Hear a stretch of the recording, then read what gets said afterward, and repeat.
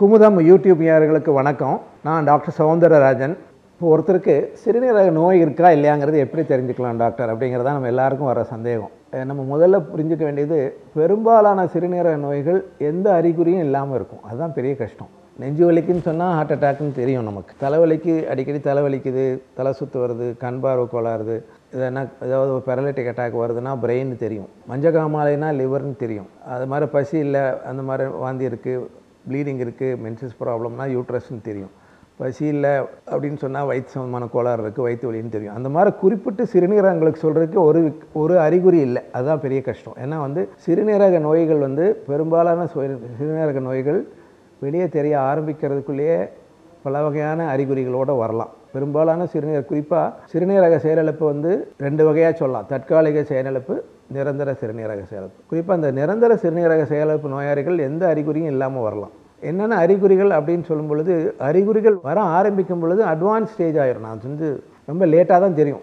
ஏறத்தாழ சிறுநீரகங்கள் வந்து ரெண்டு சிறுநீரகங்களில் ஒன் மில்லியன் நெஃப்ரான் ரெண்டு மில்லியன் ஃபில்டர்ஸ் இருக்குன்னு சொன்னோம். அதில் அறுபது சதவீத அளவுக்கு நெஃப்ரான் ஃபில்டர் டேமேஜ் ஆக வரைக்கும் வெளியே தெரியாது. ஏறத்தால் ஒரு மனிதன் ஆரோக்கியமாக இருக்கிறது ரெண்டு கிட்னியில் ஒன் தேர்ட் இருந்தால் போதும். அதனால் அறுபது சதவீதத்துக்கு மேலே பாதிப்பு அதிகமாக வரைக்கும் நம்ம வெளியே தெரியாது. ஏறத்தால் நிரந்தர பாதிப்பில் ரெண்டும் கெட்டுகிட்டே இருக்கும். குறிப்பாக டயபெட்டிக் பேஷண்ட் ஐபிபி உள்ளவங்களுக்கெல்லாம் வெளியே ஒன்றுமே அறிகுறி தெரியாது. அறிகுறி தெரிய ஆரம்பிக்கிறப்ப கூட அறிகுறிகள் சிறுநீர் சம்மந்தமானதாக இருக்காது. பிற உறுப்புகள் சம்மந்தமாக இருக்கும்.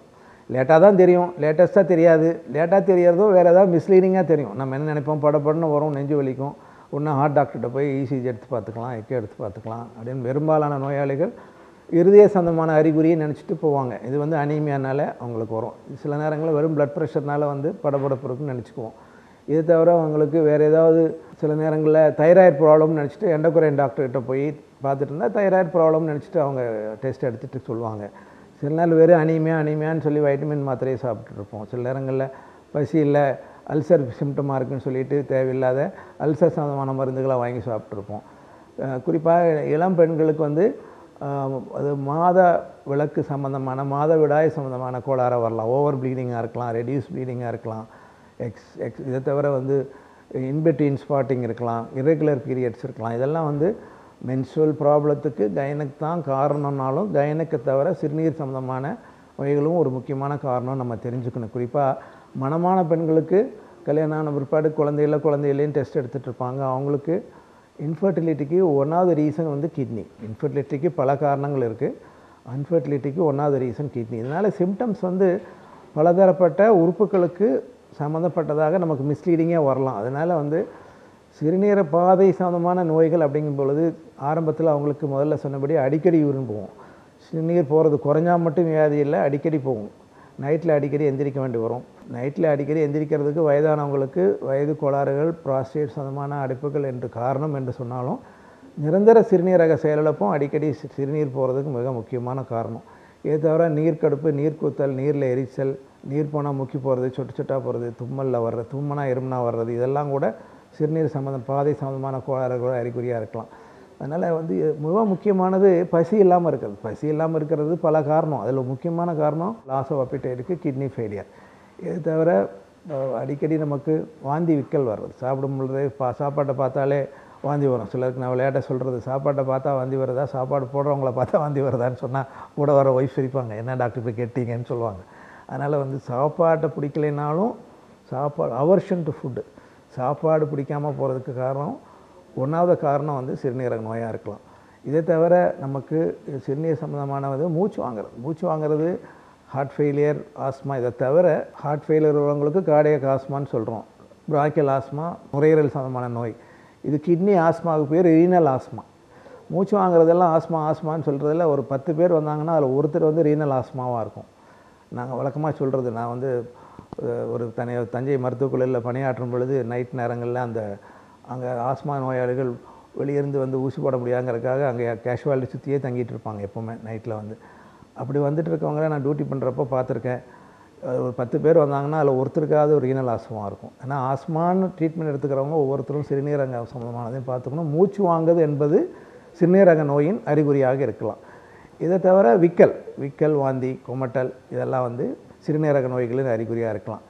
இதெல்லாம் இருக்கலாம் இருக்கலாம்னு சொல்கிறோம் அதுபோக கை கால் வீக்கம். ட்ராவல் பண்ணால் கால் வீக்கம் வர்றது இக்னோர் பண்ணக்கூடாது. எப்பவுமே நான் விளையாட்டாக சொல்கிறது உண்டு. உங்களோட எல்லாரும் எல்லோரும் நாங்கள் பஸ்ஸில் தானே வந்தேன் எங்கேருந்து வரீங்க தஞ்சாவூர்லேருந்து வந்தேன். உங்களோட நாற்பது பேர் வந்தாங்களா? எல்லாருக்கும் வீங்குச்சா? டிரைவர் கண்ட்ரக்டருக்கு வீங்குச்சா? உங்களுக்கு மட்டும் ஏன் வீங்குது? ட்ராவலில் வந்து வீக்கம் வர்றது ஒன்றாவது ரீசன் வந்து கிட்னி ஹார்ட் ஃபெயிலியராலையும் வீங்கலாம். ஒன்றும் இல்லாமல் சில நேரங்களில் வீங்கலாம். ப்ரோட்டீன் குறைஞ்சாலும் வீங்கலாம். ஸோ கால் வீக்கம் எந்த காலத்தில் வந்தாலும் நம்ம வந்து அதை அலட்சியம் பண்ணக்கூடாது. கால் வீக்கம் அப்பப்போ வருது போகுது டாக்டர். அது ஒன்றும் செய்யாது டாக்டர். வரும் ரெஸ்ட் எடுத்தால் போயிடும் அப்படின்னு நினைக்கக்கூடாது. கால் வீக்கம் வர்றதுக்கு மிக முக்கியமான காரணம் ஒன்றாவது ரீசன் ஹார்ட் தவிர கிட்னி தவிர லிவரை தவிர ப்ரோட்டீன் டெஃபிஷியன்சி தவிர கிட்னியும் ஒரு காரணம் என்பதை ரொம்ப முக்கியமாக நம்ம தெரிஞ்சுக்கணும். இப்படி பலதரப்பட்ட அறிகுறிகள் இருந்தாலும் பல நேரங்களில் நம்ம எதுக்கோ ஒரு டெஸ்ட்டுக்கு போவோம் இல்லைன்னா ஹாஸ்பிட்டலுக்கு போவோம். உதாரணத்துக்கு ஒரு மாஸ்டர் செக் பண்ணுறோம் அந்த நேரத்தில் வந்து காமனாக வர்றது யூரின் டெஸ்ட்டில் ஆல்புமின் காட்டும். ரொட்டீனாக டெஸ்ட் பண்ணிக்கிறது யூரினில் albumin test one plus two ப்ளஸ்ன்னு காட்டும். இல்லைன்னா வேறு ஏதாவது டெஸ்ட்டுக்கு போகிற நேரத்தில் பிளட் யூரியா ஹையாக காட்டுது யூரியா கிரேட்னு ஹையாக காட்டுது. ஒரு லேப் தப்பாக இருக்குமான்னு இன்னொரு இடத்துல பண்ணுவோம். அங்கேயும் காட்டும். இன்னொரு இடத்துல பண்ணுவோம். அதுவும் ஹையாக இருக்கும். ஸோ அன்சஸ்பெக்டடாக ப்ரோட்டீன் லீக் ஆகிறது தெரியும். யூரியா கிரேட்னு ஹையாக இருக்கும். எடுத்து எடுத்து பார்ப்போம். எல்லா இடத்துலையும் அதிகமாக இருக்கும். உடனே வந்து கிட்னி டாக்டர் பார்க்க வரும்னு சொன்னால் உடனே நாங்கள் என்ன சொல்லுவோம்?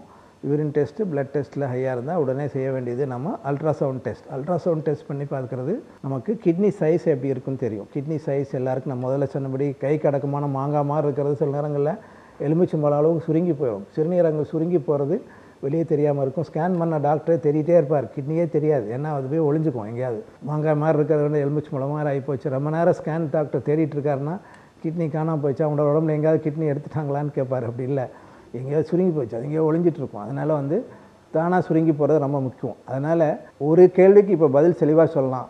சிறுநீரக நோய் இருக்கா இல்லையான்னு உறுதியாக சொல்கிறதுக்கு நமக்கு முக்கியமானது மூணு டெஸ்ட்டு தேவை. யூரின் டெஸ்ட் வேணும்.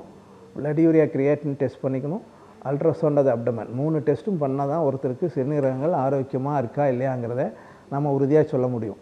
இந்த சிறுநீரக நோய்களை வந்து நம்ம பார்க்கும் பொழுது எல்லா செய்கிற வேலையை செய்யாமல் விடுறது தான் செயலிழப்பு. செயலிழப்புங்கிறது நான் ஒரு நாலு வேலை செய்து சிறுநீரகங்கள்னு சொன்னோம். அன்றாடம் செய்ய வேண்டிய செய்ய பயணிகளை செய்யாமல் விட்டு போவது தான் சிறுநீரக செயலிழப்பு. கிட்னி ஃபெயிலியர் கிட்னி அட்டாக்னு சொல்கிறோம் இதை வந்து தற்காலிக சிறுநீரக செயலிழப்பு நிரந்தர சிறுநீரக செயலிழப்புன்னு ரெண்டு வகையாக சொல்லலாம். தற்காலிக சிறுநீரக செயலிழப்புன்னா என்னென்னா நல்லா இயங்கிட்டு இருக்க சிறுநீரகங்கள் திடீர்னு வேலை செய்ய மாட்டேன்னு சொல்கிறது உதாரணம் நம்ம ஊரில் வர திடீர் ஆட்டோ ஸ்ட்ரைக் பஸ் ஸ்ட்ரைக் மாதிரி சொல்கிறது இது ஒரு கிட்னி ஸ்ட்ரைக்குன்னு சொல்லலாம்.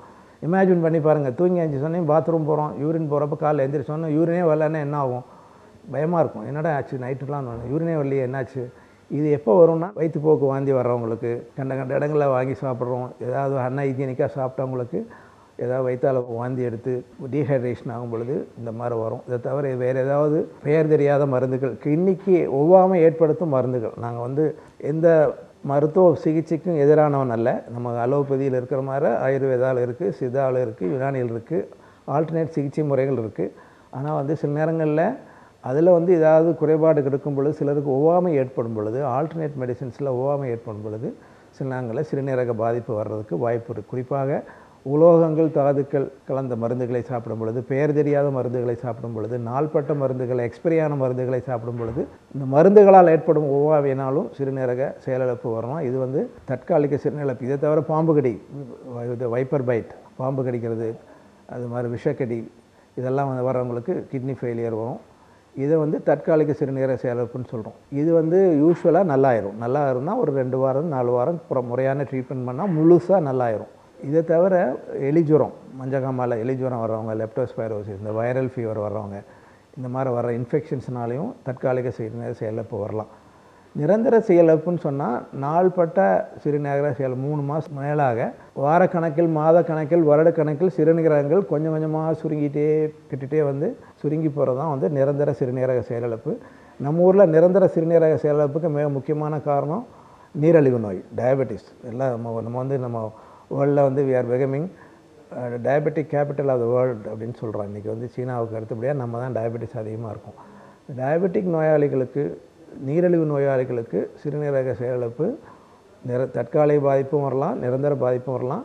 நிரந்தர சிறுநீரக செயலிழப்புக்கு வந்து நம்ம ஊரில் மூணு காரணம் தான். ஒன்று வந்து high sugar high blood pressure அடுத்தது வந்து நமக்கு வர்ற சின்ன வயசில் வர்ற நெஃப்ரைட்டிஸ் புரோட்டீனூரியா பல வகையான சிறுநீரக அலர்ச்சி நோய்கள் நெஃப்ரைட்டிஸ்ன்னு நாங்கள் சொல்லுவோம்.